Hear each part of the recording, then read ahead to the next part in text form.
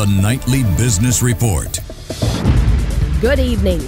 Tonight, State Finance Minister states that it's not possible to definitively determine the completion date for Sri Lanka's debt restructuring at the moment, but the country is recovering more rapidly than others.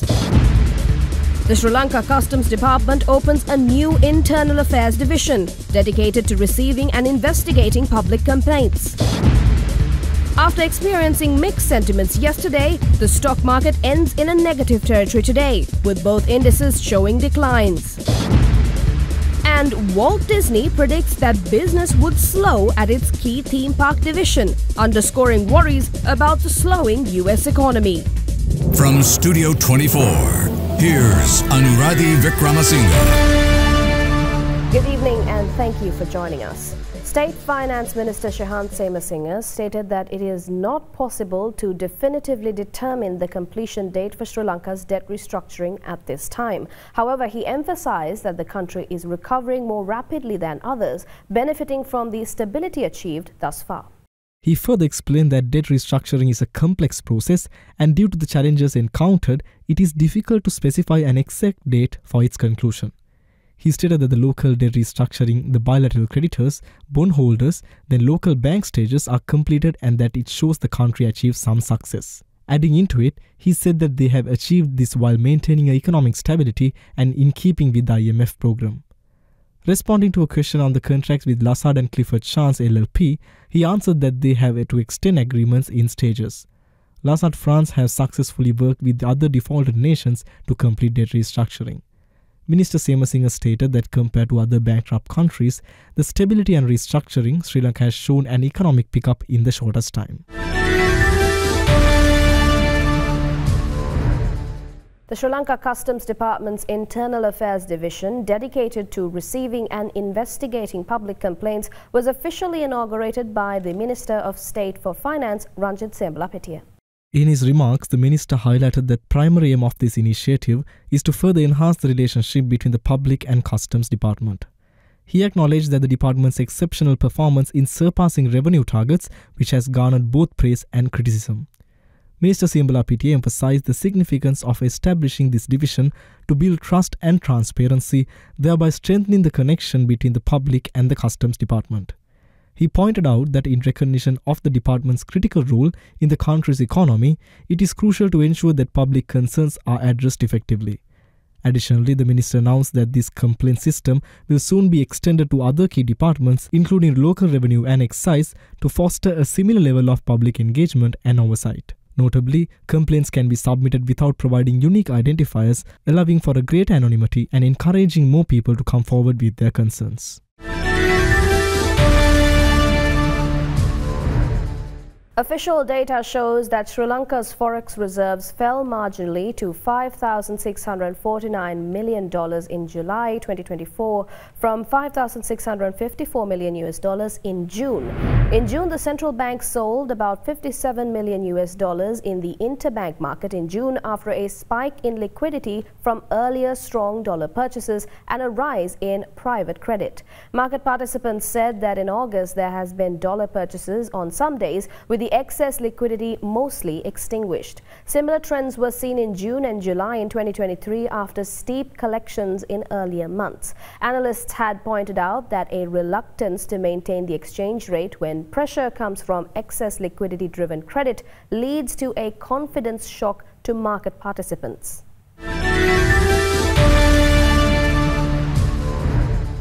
Sri Lanka's Minister of Power and Energy, Kanchana Wijesekera, said he had discussed salary structures and a voluntary retirement scheme policy with state-run power utility management and trade unions. Wijesekera met Ceylon Electricity Board management and trade unions recently.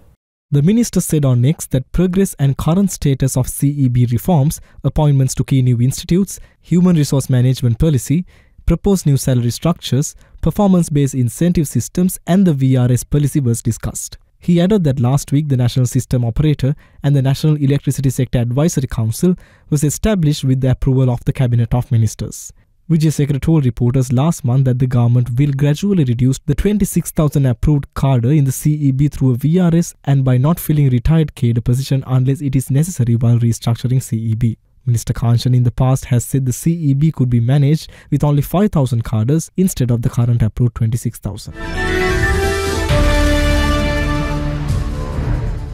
Let's go for a short commercial break now. Equity market updates right after this. This is the nightly business report.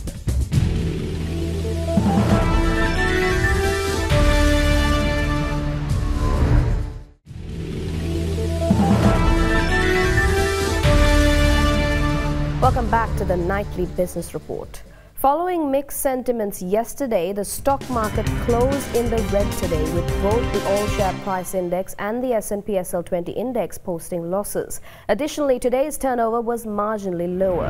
For a detailed summary of today's market performance, let's turn to Minal Wickremagey from Capital Alliance Securities. Today, the Colombo Stock Exchange concluded on a negative note compared to the previous session due to overall negative sentiment among the market participants.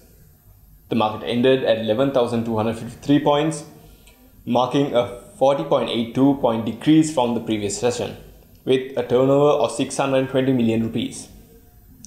The SL20 index also experienced a downward movement of 8.8 points to end the day at 3,115 points. Notable institutional engagement was observed across various sectors, with high turnovers recorded on Sampath Bank and John Keells Holdings and a crossing recorded on Central Finance. The top five gainers for the day were SM Leasing non-voting, Industrial Asphalts, Tess Agro non-voting, Sathosa Motors and Senkadagala Finance. The top five losers for the day were Nation Lanka Finance, Blue Diamond Jewelry, Lake House Printers PLC, Muller and Phipps PLC and the Autodrome PLC.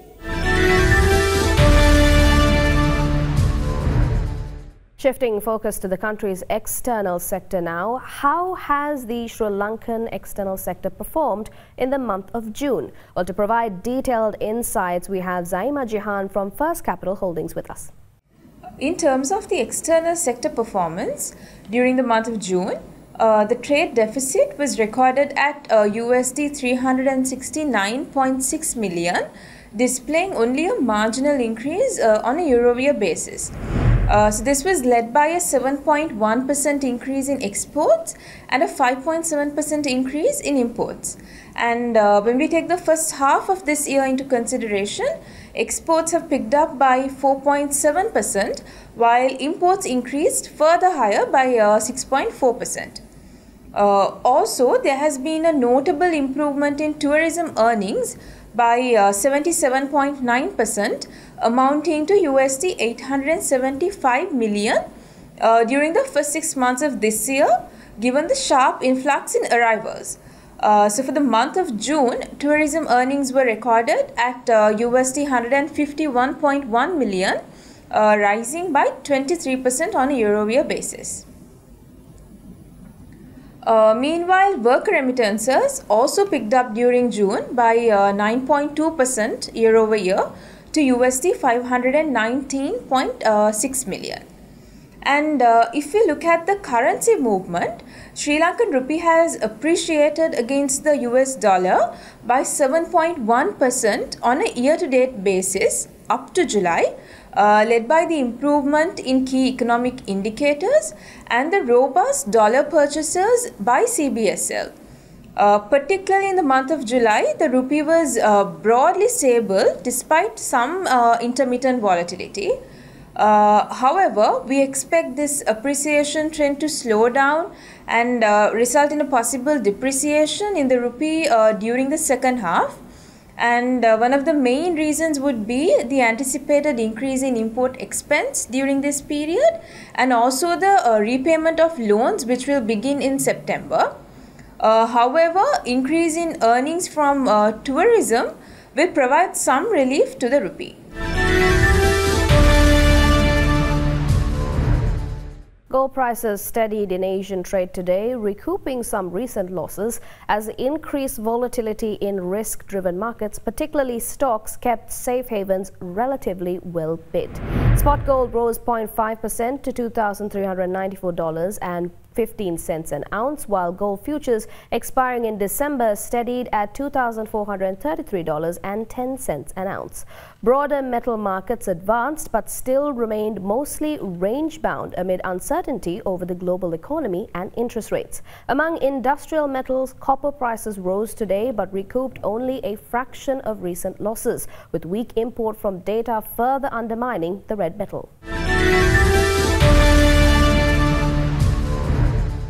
Oil prices fell in choppy trade today and looked set to snap a two-session streak during which they gained about 3% due to growing supply risks amid simmering tensions in the Middle East.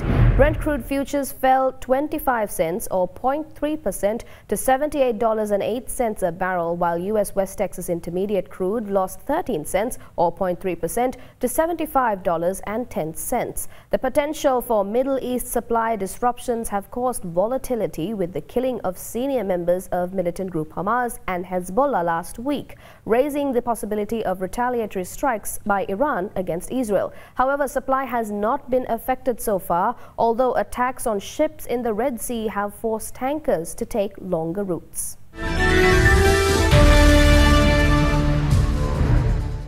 Following a sudden depreciation in recent days, the Sri Lankan rupee has appreciated slightly against the US dollar today, as reported by the Central Bank of Sri Lanka. The buying rate of the US dollar has decreased from 297 rupees and 50 cents to 297 rupees and 1 cent, while the selling rate has dropped from 306 rupees and 76 cents to 306 rupees and 28 cents. The rupee also showed gains against several other global currencies. Let's take a closer look at some of the current exchange rates.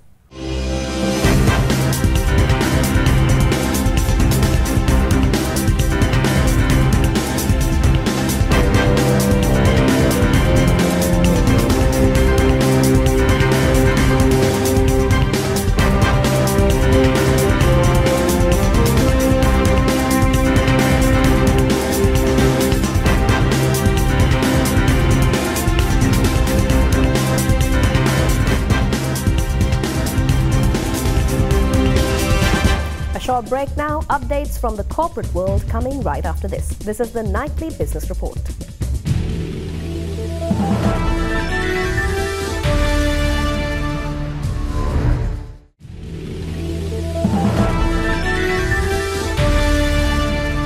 Welcome back to the Nightly Business Report. Tokyo Cement Group reported a turnover of 11,665 million rupees and a profit after tax of 707 million rupees for the first quarter ended on the 30th of June 2024. The decline in turnover compared to the previous year despite recording an increase in sales volume is due to the reduction in prices in the corresponding quarters. Passing on the benefit of cost reductions to consumers, the cement industry announced two downward price revisions which brought the maximum retail price of a 50 kilogram bag of cement to 2250 rupees. The current year started off with a positive economic outlook, with the country's year-on-year gross domestic product for the first quarter of 2024 reporting a 5.3% growth. The rupee appreciating against the US dollar facilitated the reductions in the cost of imported raw materials, which in turn allowed for the price of cement and other building materials to be revised accordingly. The downward trend in policy interest rates throughout this calendar year, with the standing deposit facility rate and standing lending facility rate at 8.5% and 9.5% respectively, has encouraged investors to pursue fixed term loans for construction projects. Noteworthy tariff reductions in fuel, energy, and utility services were implemented during the quarter. All of these factors allowed for a boost in purchasing power and investor confidence to a greater extent, thus stimulating steady economic growth. While maintaining its conservative outlook for the short to medium term, Tokyo Cement remains optimistic of stabilization of the country's economic fundamentals as the year progresses. Sri Lanka-listed company Dipped Products plc said its board had approved in principle the acquisition of a Thailand-based rubber glove manufacturing facility. The company said in a stock exchange filing that the acquisition of the Thailand-based rubber glove manufacturing facility is contingent upon conducting a due diligence study. The potential investment for this acquisition would be approximately 11 million US dollars and the acquisition will be carried out through Dipped Products Thailand Limited, which is a subsidiary of the company. In May, the Sri Lankan based glove maker Dipped Products plc opened a market office in India as a part of the efforts to strengthen the presence in key markets. Dipped Products is a subsidiary of Hayleys plc. Established in 1976, Dipped Products is one of the world's leading rubber glove manufacturers, accounting for a 5% global market share. DPL specializes in industrial, household, sport, electrician, and medical gloves. HNB General Insurance has announced a strategic partnership with Cargills Bank to provide bespoke general insurance solutions tailored to the specific needs of Cargills Bank customers. This collaboration ensures that customers of Cargills Bank can now benefit from comprehensive coverage and financial security for themselves and their families. As the management of HNB highlights, the partnership will particularly benefit the customers of Cargills Bank's robust agri-product portfolio by offering them a variety of general insurance solutions tailored to meet their diverse needs relating to agricultural enterprises and activities. Mr. Sithumina Jayasundara, CEO of HNB General Insurance, stated that this partnership not only solidifies their market presence but also underscores the commitment to integrating comprehensive financial and insurance services for improved customer satisfaction. Sampath Bank PLC has announced its intention to issue 100 million debentures, each priced at 100 rupees. This move is part of the bank's strategy to raise 10 billion rupees in total, likely to support its capital base and finance future growth initiatives. The bank will issue up to 50 million Basel III compliant Tier 2 listed, rated, unsecured, subordinated redeemable 5-year debentures with a non-viability conversion at 100 rupees each to raise 5 billion rupees initially. The bank said in a stock exchange filing that with an option to issue up to a further 20 million of said debentures to increase the said sum by up to a further 2 billion rupees at the discretion of the bank in the event of an oversubscription of the initial issue. There would be a further issue of 30 million more debentures to increase the sum by another 3 billion rupees in the event of an oversubscription of the initial issue and the second tranche. The proposed debenture issue is subject to obtaining all necessary regulatory and shareholder approvals and provided other conditions are acceptable to the bank. People's Leasing and Finance PLC, a subsidiary of People's Bank, has announced the appointment of Mr. Sanjeeva Bandaranaike as its new Chief Executive Officer and General Manager. His appointment is effective from the 6th of August 2024 and has received the approval of the Central Bank of Sri Lanka. Mr. Bandaranaike brings with him over 36 years of comprehensive experience, with 31 of those years dedicated to the non-banking financial institution sector. Having joined People's Leasing Leasing and Finance PLC in 2007 as the Deputy General Manager of Finance and Administration. He has been instrumental in driving various strategic functions such as finance, treasury, administration, human resources, information technology, credit and marketing.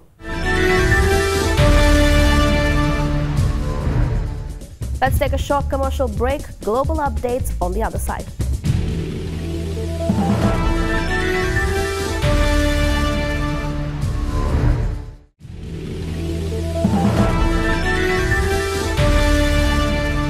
Welcome back to the Nightly Business Report.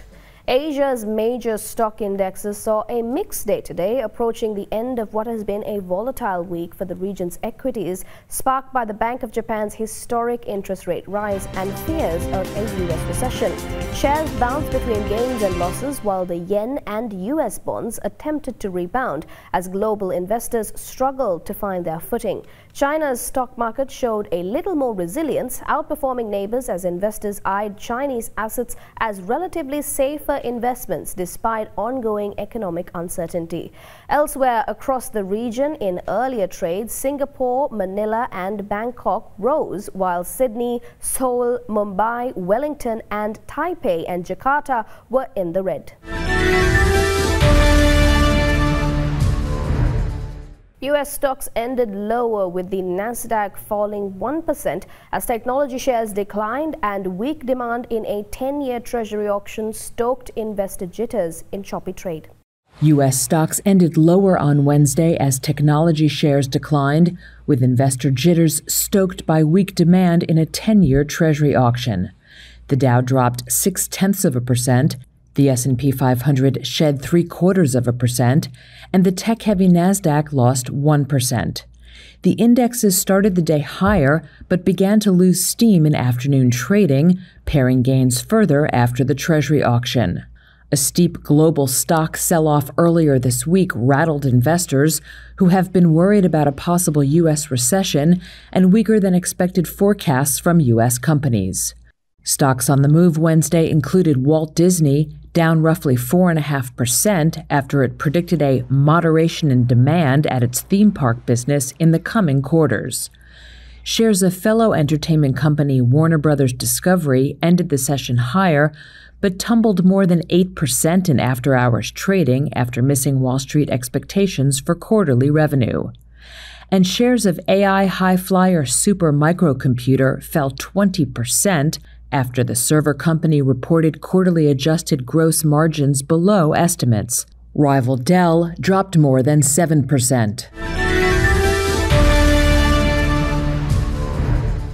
Walt Disney predicted that business would slow at its key theme park division. This comes at a time when inflation has pinched consumer spending, underscoring worries about the slowing U.S. economy.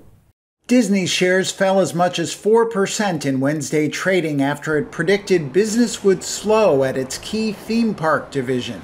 A company executive said the issue would persist for a few quarters, but he wouldn't call it a protracted problem. Analysts say weakness at Disney's parks coming at a time when consumer spending has been pinched by inflation underscores worries about the slowing U.S. economy. This overshadowed the success of the animated Pixar film Inside Out 2 and the company's television business. The combined streaming businesses of Disney Plus, Hulu, and ESPN Plus posted a profit for the first time. One analyst told Disney can continue to deliver profitability in streaming quarter after quarter, it will have cracked the code. CEO Bob Iger is working to rebuild Disney after billions of dollars in losses from streaming efforts, the decline of traditional television, and a rough patch for its storied film studio. Inside Out 2 notched $1.6 billion in global ticket sales and Deadpool and Wolverine, which debuted in the current quarter, has brought in more than $850 million.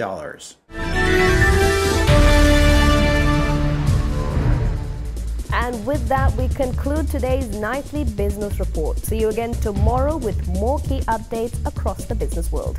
Until then, I'm Anuradhi Vikramasinghe. Have a good night.